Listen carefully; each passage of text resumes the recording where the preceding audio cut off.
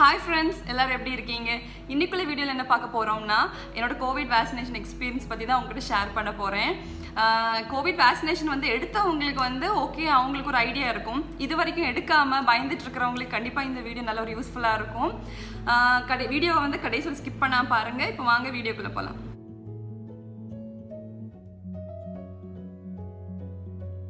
இங்கே யூஏயில் வந்து இது வரைக்கும் வந்து ஏஜென்ட் ப்ளஸ் தான் வேக்சினேஷன் போட்டுட்டு இருந்தாங்க இப்போ ரீசெண்ட் டைமில் பார்த்தீங்கன்னா வந்து டுவெல் டு எயிட்டீன் இயர்ஸ் வரைக்கும் வேக்சினேஷன் போடுறதா சொல்லியிருந்தாங்க. இப்போ சஞ்சய்க்கு வந்து என்னோட பையனுக்கு வந்து வேக்சினேஷனுக்கு வந்து அப்ளை பண்ணியிருந்தோம். அவனுக்கு வந்து ஜூன் தேர்ட் வந்து அப்பாயின்மெண்ட் கிடச்சிருந்தது. திடீர்னு பார்த்தீங்கன்னா வந்து கேன்சல் ஆகிடுச்சு ஃபர்ஸ்ட் டோஸ் நிறைய குழந்தைங்க போட்டிருக்காங்க. அவங்களுக்கு வந்து செகண்ட் டோஸ்க்குள்ள இது வந்து கேன்சல் ஆகிடுச்சு திடீர்னு ஸ்டாப் பண்ணிட்டாங்க. அது ஏன்னு தெரில அதனால் சஞ்சய்க்கு இது வரைக்கும் வேக்சினேஷன் போடலை. சரி ஓகே இப்போ என்னோட ஸ்டோரிக்கு வரலாம். ஸ்டார்டிங்கில் பார்த்தீங்கன்னா வந்து நானும் ஹஸ்பண்ட் வந்து வேக்சினேஷன் போடுறதுக்கு வந்து ஒரு ஐடியாவுமே கிடையாது. வேண்டாம் போட வேண்டாம்னு தான் இருந்தோம். ஏன்னு பார்த்தீங்கன்னா ஹஸ்பண்ட் வந்து ஒர்க் ஃப்ரம் ஹோம் தான். குழந்தைங்களுக்கு ஆன்லைன் கிளாஸ் தான். நானும் வீட்டில் தான் இருக்கேன். தேவையில்லாமல் எதுக்கு இன்ஜெக்ஷன் போடுறதுன்னு சொல்லிட்டு அவாய்ட் பண்ணிட்டு தான் இருந்தோம். இப்போ ரீசெண்ட் டைமில் பார்த்தீங்கன்னா வந்து துபாயில் வந்து கம்பல்சரியாக கொண்டு வராங்க. கண்டிப்பாக வேக்சினேஷன் போடணும். என்னோட ஹஸ்பண்டோட ஆஃபீஸில் வேறு வேக்சினேஷன் கண்டிப்பாக போடணும்னு சொல்லியிருந்தாங்க. ஸோ வந்து நானும் என் ஹஸ்பண்டை வந்து வேக்சினேஷன் போடலான்னு சொல்லி பிளான் பண்ணியிருந்தோம்.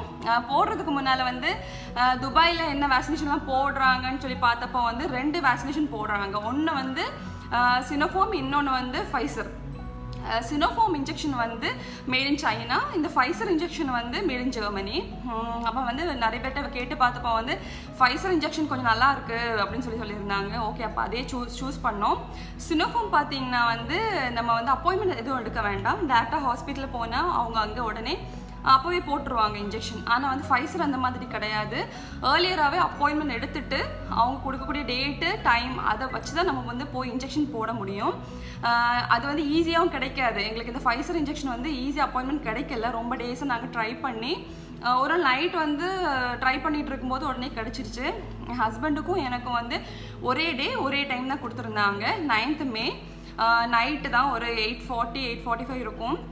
ஆக்சுவலாக நான் ஒரு விலாக் போட்டிருந்தேன். நான் வந்து ஃபஸ்ட்டு வேக்சினேஷன் எடுக்க போகும்போது ஒரு விலாக் இருக்குது என்னோடய சேனலில் உங்களுக்கு வேணால் நான் லிங்க் ஷேர் பண்ணுறேன் போய் பார்த்துக்கங்க செகண்ட் டோஸ் எடுக்க போகும்போதும் விலாக் எடுக்கலான்னு சொல்லிட்டு யோசிச்சுட்டு இருந்தேன். ஆனால் பார்த்தீங்கன்னா வந்து ஒரே பிளேஸ் ஒரே மாதிரி தான் இருக்கும். அப்புறம் போர் அடிக்கும் உங்களுக்கு. அதனால தான் விலாக் எடுக்கலை. ரெண்டு டோஸுமே முடிச்ச அப்புறம் நான் என்ன வந்து எக்ஸ்பீரியன்ஸ் பண்ணேன்? எனக்கு என்ன சிம்டம்ஸ்லாம் இருந்துச்சு? அதெல்லாம் உங்ககிட்ட ஷேர் பண்ணலாங்கிறதுக்காக தான் வெயிட் பண்ணிகிட்டு இருந்தேன். அதனால தான் இந்த வீடியோ அப்லோட் பண்ணியிருக்கேன். ஃபஸ்ட்டு டோஸ் பார்த்தீங்கன்னா ரொம்ப டென்ஷனாக தான் இருந்துச்சு. ரொம்ப டென்ஷனாக தான் போனேன். நீங்கள் அந்த வீடியோ பார்த்தா உங்களுக்கு தெரியும். வேக்சினேஷன் எடுக்கும்போது ஆக்சுவலாக இன்ஜெக்ஷன் போடும்போது ஃபஸ்ட் டோஸ் போடும்போது பெயின் எதுவும் கிடையாது. இன்ஜெக்ஷன் போடும்போது ஏதோ சம்திங் அப்படியே கைக்குள்ளே போகிற மாதிரி தான் இருந்துச்சு தவிர பெயின் எதுவும் இருக்குல்ல அப்புறம் கொஞ்சம் நேரம் ஆக ஆக கை கொஞ்சம் ஹெவியாக ஃபீல் ஆச்சு. இந்த ஏரியா ஃபுல்லாக ஹெவியாக ஃபீல் ஆச்சு. வேக்சினேஷன் எடுத்ததுமே ஒரு டென் மினிட்ஸ் வந்து அப்சர்வேஷனில் வைக்கிறாங்க. எதுக்குன்னு தெரில வச்சுட்டு ஏதாவது சிம்டம்ஸ் ஏதாவது இருக்கான்னு பார்க்குறதுக்காக வச்சுருக்காங்க. வச்சுட்டு அப்புறம் நம்ம போயிடலாம். எனக்கு பார்த்தீங்கன்னா ஒரு ஒன் டு டூ டேஸ் வந்து கை கொஞ்சம் ஹெவியாகவும் தூக்க முடியாமலும் கொஞ்சம் கஷ்டமாக தான் இருந்துச்சு. அப்புறம் நார்மல் ஆகிடுச்சு ஃபஸ்ட்டு டோஸ் எடுத்ததுமே வந்து நைன்த்து போய் எடுத்தோம். அன்னைக்கு வேக்சினேஷன் எடுத்ததுமே வந்து செகண்ட் டோஸுக்குள்ளே மெசேஜ் வந்துடும் எங்களுக்கு வந்து தேர்ட்டீத்து மே கொடுத்துருந்தாங்க. அது மார்னிங் டென் தேர்ட்டி அந்த மாதிரி கொடுத்துருந்தாங்க. உடனே மெசேஜ் வந்துடுச்சு. ஸோ அதுக்காக தான் வெயிட் பண்ணிட்டு இருந்தோம். ஃபர்ஸ்ட் டோஸுக்கு வந்து ஜஸ்ட் இந்த கைவலி மட்டும்தான் இருந்துச்சு. ஆனால் செகண்ட் டோஸ் வந்து நிறைய பேர் சொல்லியிருந்தாங்க ஃபீவர் வரும் சில பேர் சொல்லியிருந்தாங்க ஒன்றுமே இல்லை. அப்படி சொல்லி ஒரே கன்ஃபியூஷனாக இருந்துச்சு. நல்லா இருக்குமா? வேக்சினேஷன் எடுத்த அப்புறம் எப்படி இருக்கும்? ஃபீவர் வருமா வராதா? என்ன மாதிரியெல்லாம் இருக்கும்? ஒரு ஐடியாவுமே இல்லை. சரி தேர்ட்டீத் வந்து um, லஞ்ச் எல்லாம் ரெடி பண்ணி தான் எல்லாம் இருந்துச்சு. அப்போ மார்னிங் வந்து நானும் ஹஸ்பண்ட் வேக்சினேஷன் போடுறதுக்காக போயிருந்தோம். போகும்போது வந்து ஃபஸ்ட் டோஸுக்கும் சரி செகண்ட் டோஸுக்குமே சரி எமிரேட்ஸ் ஐடி பாஸ்போர்ட் வந்து கம்பல்சரியாக கொண்டு போகணும். அங்கே போன அப்புறமா வந்து ஃபஸ்ட் டோஸுக்கு நான் சொன்னேன் இன்ஜெக்ஷன் போடும்போது பெயின் எதுவுமே இல்லை. ஆனால் செகண்ட் டோஸுக்கு வந்து இன்ஜெக்ட் பண்ணும்போதே பயங்கர பெயினாக இருந்துச்சு. நான் நார்மலாக வந்து சில இன்ஜெக்ஷன் போடும்போது ஒரு மாதிரி ஒரு இரிட்டேட்டிங் பெயின் இருக்கும்ல சேம் அதே பெயின் தான். பெயின் இருந்துச்சு. அப்புறம் கொஞ்சம் நேரம் ஆக ஆக தடவி விடக்கூடாது. சொல்கிறாங்க தடவி விடக்கூடாதுன்னு. பேண்டேட் போட்டு விடுறாங்க. போட்டதுக்கப்புறமா வந்து சொல்கிறாங்க ஃபீவர் எதாவது வந்துச்சுன்னா பேராசிட்டமல் எடுத்துக்கங்கன்னு. ஆனால் இந்தியாவில் வந்து எங்க என்னோட அம்மா ஆண்டியெல்லாம் எடுத்தப்போ அவங்க சொன்னாங்க வந்து அங்கே ஹாஸ்பிட்டல்லே அவங்க வந்து வேக்சினேஷன் போட்டதுமே அவங்க கொடுக்குறாங்க ஒரு இன்ஜெக்ஷன் சாரி அவங்க வந்து டேப்லெட் கொடுக்குறாங்க அதுதான் போடணும்னு சொல்லிட்டு. இங்கே அந்த மாதிரி கிடையாது. இன்ஜெக்ஷன் போட்டுட்டு ஃபீவர் வந்துச்சுன்னா பேராசிட்டமல் எடுத்துக்கங்க அப்படின்னாங்க. ஓகே அந்த செகண்ட் வேக்சினேஷனுக்கும் வந்து அப்சர்வேஷனில் வைக்கிறாங்க. ஒரு டென் மினிட்ஸ் அப்சர்வேஷனில் வச்சுட்டு அதுக்கப்புறமா தான் அனுப்புகிறாங்க ஃபஸ்ட் டோஸுக்கு பார்த்தீங்கன்னா வந்து ப்ரெஷர்லாம் செக் பண்ணிட்டு தான் வேக்சினேஷன் போடுறாங்க. ஆனால் செகண்ட் டோஸுக்கு வந்து ப்ரெஷர் எதுவுமே செக் பண்ணல. செக் பண்ணாமலே வேக்சினேஷன் போட்டுட்டு அனுப்பிடுறாங்க. ஆனால் வந்து நாங்கள் மார்னிங் வந்து வேக்சினேஷன் போட்டிருந்தோம். கை வந்து ஒரு மாதிரி இரிட்டேட்டிங்காக தான் இருந்துச்சு கொஞ்சம் நேரமாக வீட்டுக்கு வந்தோம். அப்புறம் லஞ்சு சாப்பிட்டு டின்னர் சாப்பிட்ற வரைக்கும் ஓகே கை மட்டும்தான் ஒரு மாதிரி இரிட்டேட்டிங்காக இருந்துச்சு. அதனால அங்கே நினச்சி நைட் வரைக்கும் ஓகே தான் இருந்துச்சு. அப்புறம் நினச்சி ஓ அப்போது நம்மளுக்கு வந்து ஒன்றுமே வராது. இந்த செகண்ட் டோஸ்லேயும் வந்து ஒரு ப்ராப்ளமே இல்லை. இப்படி ஃப்ரீயாகவே இருந்துடலாம் அப்படின்னா ஹாப்பியாக தான் இருந்துச்சு. கொஞ்சம் டயர்டாக இருந்துச்சு அவ்வளோதான் அப்போ ஓகே அப்போ செகண்ட் டோஸுக்கு இவ்வளோ தான் போகலன்னு நினச்சிட்டு இருந்தோம்.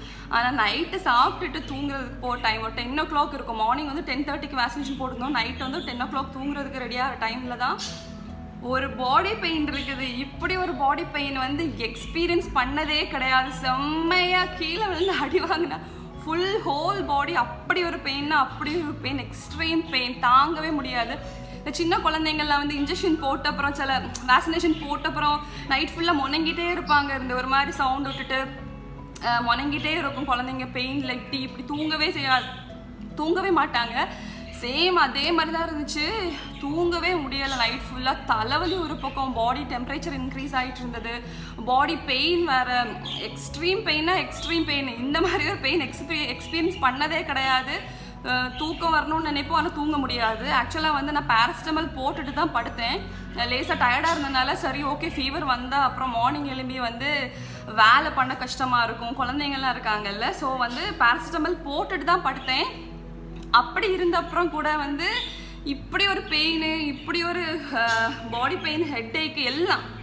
பாடி ஃபுல்லாக பெயினாக பெயின் தூங்கவே இல்லை நைட் ஃபுல்லாக என் ஹஸ்பண்டுக்கு வந்து அன்னைக்கு வேக்சினேஷன் போட்ட அன்னைக்கு அவங்கக்கிட்ட கேட்டப்போ வந்து அன்னைக்கு ஃபுல்லாக ஓகே நார்மலாக தான் இருந்தாங்க. நைட் தூங்கும்போது கொஞ்சம் பாடி பெயின் இருந்துச்சு அவங்களுக்கும். எனக்கு வந்து செம பெயினாக பெயின் மார்னிங் வந்து எலும்பி காலை பெட்லேருந்து வெளியே எடுத்து வைக்க முடியும் தரையில் கூட வைக்க முடியாது. அவ்வளோ கஷ்டமாக இருந்துச்சு. என்னோட எக்ஸ்பீரியன்ஸில் நான் உங்ககிட்ட என்ன சொல்ல வரேன்னா நீங்கள் வந்து ஹவுஸ் ஒய்ஃபாக இருப்பீங்க. இல்லைன்னா வந்து வீட்டில் வந்து சமையல் வேலை பார்க்குறக்கூடிய ஒரு பர்சனாக இருந்தீங்கன்னா வீட்டில் உள்ளவங்களை கவனிக்கக்கூடிய ஒரு பர்சனாக இருந்தீங்கன்னா செகண்ட் டோஸ் எடுக்க போ செகண்ட் டோஸாக இருக்கட்டும் ஃபஸ்ட் டோஸாக இருக்கட்டும் ரெண்டு டோஸுக்குமே வந்து ஏதாவது ப்ரிப்பேர் பண்ணி வச்சுட்டு போங்க வீட்டில் வந்து வந்து சமைச்சு சாப்பிடக்கூடிய கண்டிஷன்லேயே நம்ம இருக்க மாட்டோம் ஸோ வந்து சிம்பிளாக இந்த ரசம் அதெல்லாம் இருக்கும் ஒன்று ரெண்டு நாளைக்கு இருக்கும் ரசம் சாம்பார் இந்த மாதிரி ஏதாவது சிம்பிளான ஐட்டங்கள் பண்ணி வச்சுட்டு போனீங்கன்னா கண்டிப்பாக ஹெல்ப்ஃபுல்லாக இருக்கும் இல்லை டோஸ் போட்டுட்டு வந்து நீங்கள் இதெல்லாம் பண்ணணும்னு நினச்சிங்கன்னா கண்டிப்பாக முடியாது நான் செம்மையாக எக்ஸ்பீரியன்ஸ் பண்ணேன் அதுவும் இல்லாமல் ஃபுட்டு கூட என் என்னோட பர்சனல் எக்ஸ்பீரியன்ஸ் எல்லாருக்கும் எப்படின்னு தெரில நான் இன்னைக்கு வந்து என்னோட எக்ஸ்பீரியன்ஸ் பற்றி நான் ஷேர் பண்ணுறேன் மார்னிங் எழும்பி என்ன சொல்கிறதுக்கு நான் வந்து நார்மலாக வந்து டீ எல்லாம் குடிக்கவே மாட்டேன். எப்போவோ அது ரொம்ப டயர்டாக இருந்தாலோ தலைவலி இருந்தாலோ அந்த டைமில் மட்டும்தான் டீ குடிப்பேன். காலையில் எலும்பெலாம் டீ குடிக்கிற மாதிரியே இருந்துச்சு. ஜிஞ்சர் போட்டு எனக்கு முடியலை ஆனாலும் பண்ணி குடிச்சிட்டு அன்னைக்கு வந்து ஆக்சுவலாக எனக்கு எதுவுமே சாப்பிட்றதுக்கே இஷ்டம் இல்லை. இந்த ரசம் இருக்குல்ல ரசம் பண்ணி கொஞ்சம் ரைஸ் வச்சு அதுவும் கொஞ்சம் தான். டேஸ்ட்டே இல்லை நாக்கில் அந்த மாதிரி ஆகிப்போச்சு கொஞ்சமாக தான் சாப்பிட முடிஞ்ச ரசம் வச்சு. நைட்டு பார்த்தீங்கன்னா வந்து குழந்தைங்க வந்து கேஎஃப்சி வேணும்னு கேட்டிருந்தாங்க. அது என்னோடய ஃபேவரட் ஃபுட் வேறு. அது வேறு ஆர்டர் பண்ணியிருந்தாங்க. என்னால் அது ஒரு வாய் கூட சாப்பிட முடியல. டேஸ்ட்டே தெரில எனக்கு. அந்த மாதிரி ஆகிப்போச்சு நான் நைட்டு கூட எனக்கு கொஞ்சமாக ரைஸ் எடுத்து ரசம் வச்சு தான் சாப்பிட்டேன். எனக்கு அவ்வளோ அது அந்த பெயின் எல்லாம் போகும். இப்படி ஒரு இதில் இந்த எப்போ வெளியே வருவோங்கிற அளவுக்கு நான் வெயிட் பண்ணிட்டு இருந்தேன். ஆனால் அன்றைக்கி ஃபுல்லாக எனக்கு இருந்துச்சு. அன்றைக்கி நைட் ஆனால் என்ன சொல்கிறதுக்கு பிஃபோர் டே இருந்ததுக்கு கொஞ்சம் கொஞ்சமாக குறைஞ்சிட்டே வந்துச்சு. அன்றைக்கி நைட்டும் ஓரளவு தூங்கினேன். பிஃபோர் நைட் இருந்ததுக்கு கொஞ்சம் கம்மியாக தான் இருந்துச்சு. ஆனாலும் ஃபுல்லாக க்யூர் ஆகலை. நைட் ஃபுல்லாக வந்து தலைவலி அன்றைக்கும் இருந்துச்சு எனக்கு பாடி பெயின் எல்லாம். அண்ட் நெக்ஸ்ட் டே வந்து தான் எனக்கு வந்து நார்மலாக இருந்துச்சு. காலையில் எழும்பி நார்மலாக நான் வேலை பார்க்குற அளவுக்கு நெக்ஸ்ட் டே தான் எனக்கு வந்து இருந்துச்சு. அதனால் வந்து ஒரு டூ டேஸாக வந்து பயங்கரமாக எனக்கு போச்சு. எப்பண்டா இந்த ஃபுல் இதுலேருந்து நான் வெளியே வருவேங்கிற அளவுக்கு காத்துக்கிட்டு இருந்தேன். சும்மா இருந்த நம்மளை பிடிச்சிட்டு போய் இன்ஜெக்ஷன் போட்டு இதெல்லாம் எக்ஸ்பீரியன்ஸ் பண்ண வச்சு. ஆனால் வந்து சில பேருக்கு சிம்டம்ஸ் எல்லாம் டிஃப்ரெண்ட்டாக தான் இருக்குது. ஹஸ்பண்டுக்கும் எனக்கு கம்பேர் பண்ணும்போது அவங்க கொஞ்சம் நார்மலாக இருந்த மாதிரி தான் இருந்துச்சு. ஆனால் எனக்கு ரொம்ப எக்ஸ்ட்ரீமாக இருந்துச்சு. இந்த செகண்ட் டோஸ் எக்ஸ்பீரியன்ஸ் என்னால் மறக்கவே முடியாது. நான் அவ்வளோ கஷ்டப்பட்டேன். அந்த ரெண்டு நாள் வந்து சொல்ல முடியாத அளவுக்கு எனக்கு வந்து பாடி பெயின் ஹெட்டேக் எல்லாமே இருந்துச்சு. ஒரு டூ த்ரீ டேஸுக்கு எனக்கு ஹெட்டேக் இருந்துச்சு. காஃப் வேறு இருந்துச்சு எனக்கு. இருமும் போது தலைவலி. ஒரு ஒன்று ஒன்று ரெண்டு வாட்டி தான் இருமுமே இருமும் போதும் தலைவலி வேறு. பயங்கர தலைவலி. இரும கூட முடியாது நமக்கு. அப்படி. நிறைய இந்த மாதிரிலாம் இருந்துச்சு. கஷ்டப்பட்டு தான் அதுலேருந்து வெளியே வந்து நான் வந்து லாஸ்ட்டு ஒரு ஒன் வீக் முன்னால் தான் வேக்சினேஷன் போட்டு முடித்தோம் செகண்ட் டோஸ் வந்து தேர்ட்டீத் மே கொடுத்துருந்தாங்க. எப்பாடா இன்றைக்கி வந்து இந்த வீடியோ அப்லோட் பண்ணுற டே நான் ரொம்ப ரிலாக்ஸாக தான் இருக்கேன். அந்த டேயெல்லாம் நினச்சி பார்க்கவே முடியாது. நம்ம ஃபுட்டு வரைக்கும் நான் ப்ரெக்னெண்ட்டாக இருக்கும்போதுதான் ஃபுட்டெல்லாம் நான் ப்ரெக்னெண்ட்டாக இருக்கும்போது தான் ஃபுட்டெல்லாம் வந்து இந்த மாதிரி எனக்கு டிஃப்ரெண்ட் டேஸ்ட் எல்லாம் தோணும் டிஃப்ரெண்ட்டாக சாப்பிடணும் இந்த ம- சில ஃபுட்டெல்லாம் பிடிக்காம அந்த மாதிரி இருக்கும். ஆனால் வந்து கோவிட் வேக்சினேஷனுக்குள்ள செகண்ட் டோஸ் போட்டப்போ எனக்கு அந்த ஃபீல் எல்லாம் வந்துச்சு. இந்த ஃபுட்டு பிடிக்கல இது பிடிக்கல ஐயோ எனக்கு சொல்லவே முடியாது. ஒரு மாதிரியான ஃபீல்லாம் அன்னைக்கு ஃபுல்லாக இருந்துச்சு. ஆனால் ஓகே நிறைய பேர் சொல்கிறாங்க வந்து வேக்சினேஷன் எடுத்தவங்களுக்கும் வந்து கோ வேக்சினேஷன் எடுத்தவங்களுக்கும் கொரோனா வருது. ஆனால் வந்து வேக்சினேஷன் எடுத்தா எடுக்காதவங்கள அஃபெக்ட் பண்ணுற அளவுக்கு வந்து வேக்சினேஷன் எடுத்தவங்கள வந்து அந்த அளவுக்கு அஃபெக்ட் பண்ண மாட்டேங்குதுன்னு தான் சொல்கிறாங்க அதனால் வந்து முடிஞ்ச வரைக்கும் இந்த கஷ்டத்தை பற்றிலாம் யோசிக்காதீங்க. போய் வேக்சினேஷன் போடுங்க.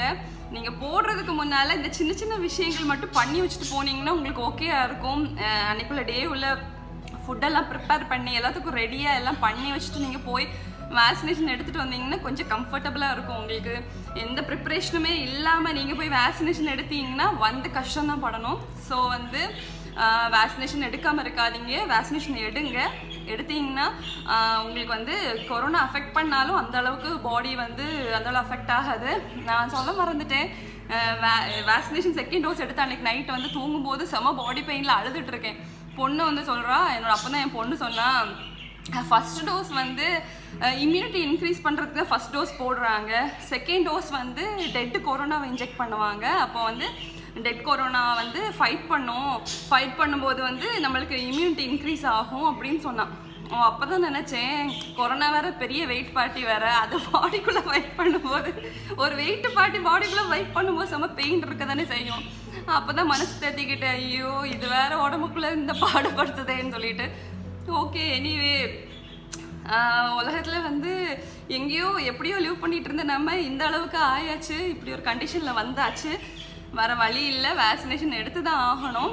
ஆனால் எல்லாமே கடந்து போகும். அந்த இதுலேருந்து அந்த சுச்சுவேஷன் அந்த கண்டிஷன்லேருந்து வெளியே வரும் எல்லாருமே வந்து ப்ரேயர் பண்ணுவோம். சீக்கிரமாக இந்த ஒரு சுச்சுவேஷன்லேருந்து நம்ம நார்மல் லைஃபுக்கு சீக்கிரமாக வரணும். இந்த மாதிரியான விஷயங்கள்லேருந்துலாம் வெளியே சீக்கிரமாக வரணும் நல்லா ப்ரேயர் பண்ணுவோம். இந்த கோவிட் டைமில் வந்து கொரோனானால அஃபெக்ட் ஆகி நிறைய ஃபேமிலிஸ் வந்து கஷ்டப்படுறாங்க. எல்லாருக்காகவும் ப்ரேயர் பண்ணுவோம். எல்லாருமே சேஃபாக இருங்க. நாங்களும் வந்து இங்கே சேஃபாக தான் இருக்கோம். வெளியே போயெல்லாம் வந்துட்டு தான் இருக்கோம். ஆனாலும் சேஃபாக தான் போயிட்டு வந்துட்டு இருக்கோம். நீங்களும் வெளியில் போகிறீங்கன்னா சேஃபாக போங்க சேஃபாக வாங்க. எல்லாருமே ஹாப்பியாக இருங்க.